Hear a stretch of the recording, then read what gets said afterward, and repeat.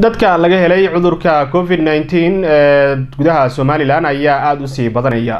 Warbixinta warkan waxaa magaalada hargeysa inooga soo diray wariyahayaga cabdiraxmaan ibraahim. Agaasimaha guud ee wasaaradda horumarinta caafimaadka somalilan doctor maxamed cabdi xergeeye oo warbixintii maalinla ahayd xanuunka coronavirus la wadaagay bulshada ayaa waxa uu shaaciyey labiyo soddonkii soo cusub oo afar iyo labaatankii saacadeed ee ugu dambeeyey loo diiwaangeliyey xanuunka covid nneteen halka hal qof oo kamidina u geeriyooday xanuunka coronavirus taasoo tirada guud ee dadka laga helay deegaanada somalilan ka dhigaysa laba boqol iyo toddobiyo konton qof. Sideed iyo toban qof oo ka midina ay u geeriyoodeen. Waxaan halkan u soo joogsanay kulankeenii maalinlaha ahaa ee aynu bulshada kula wadaagaynay xaaladda xanuunkan covid nneteen si aynu bulshada ula wadaagno marba xaaladdu halkay marayso bulshadana aynu wacyigelin aynu u samayno oo ay wacyigelintaasi u marto qeybaha kala duwan ee warbaahinta maanta afar iyo labaatankii saacadood ee u dambeeyey baadhitaan u sameynay siddeetan qof. Siddeetan qof ayaynu baadhitaan u sameynay siddeetankii qof ee aynu baadhitaanka u sameynay waxaa xanuunka laga helay laba-iyo soddon qof. Laba-iyo soddonkaa qof waxay isugu jiraan koob iyo koob iyo labaatan qof oo rag ah iyo koob iyo toban qof oo dumar ah. Waxa ay dadkani ay kala ay dhammaan joogaan magaalada hargeysa ee da-dooduna waxa ay u dhaxaysaa oo ay iskugu jirtaa toban ilaa sagaal iyo toban jir waa hal qof.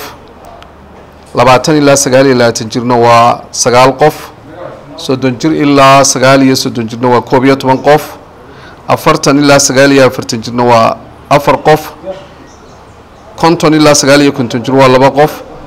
Lixdan ilaa sagaal iyo lixdan jir waa laba qof. Toddobaatan ilaa sagaal iyo toddobaatan waa laba qof. Siddeetan ilaa sagaal iyo siddeetanna waa hal qof. Markaa sida muuqata dadku wuxuu ku urursan yahay da-da u dhaxaysa labaatan ilaa sagaal iyo labaatan jir oo sagaal qof ah iyo soddon ilaa sagaal iyo soddon jir oo ah koob iyo toban qof markaa sida inoo muuqataa dadka labaatan qof oo ka midihii waxa weeyaan da-da u dhaxaysa labaatan ilaa afartan jir. Sidii aynu maalmihii horeba sheegaynay da-daasi waa da-da ugu badan ee aynu maalin walba kula kulanno xanuunka. Waa da-da actifeka ah waa da-da socota waa da-da nolol maalmeedkii dee ee u socota. Waa da-da aynu had iyo jeer ka wacyigelinayno inay sameeyaan kala fogaanshaha iyo nadaafadda iyo wacyigelinta aynu halkan u marinayno. Waxaa kaloo iyadana maanta idinla wadaagayaa in nambarkii ugu badnaa uu ka bogsado shan qof oo xanuunka ka bogsaday ay jiraan taas oo tirada guud ee xanuunka ka bogsatay ka dhigaysa siddeed iyo labaatan qof iyada oo ay jirto hal qof oo dhimasho ahi halkaa qof oo da-diisu ay ahayd da-da weyn ee siddeetan jirka. Qofkaasna waxa uu ku dhintay magaalada hargeysa. Taasi waxay ka dhigaysaa tirada guud ee dhimashada siddeed iyo toban qof. Markaa waxay noo muuqataa siddeetankii qof aynu baadhnay markaynu ka helay laba iyo soddon qof tirada guud ee dadka laga helay xanuunku waxay maraysaa maanta laba boqol iyo toddobiyo konton qof oo xanuunkaa laga helay. Cabdiraxmaan ibraahim telefishinka somaali cable hargeysa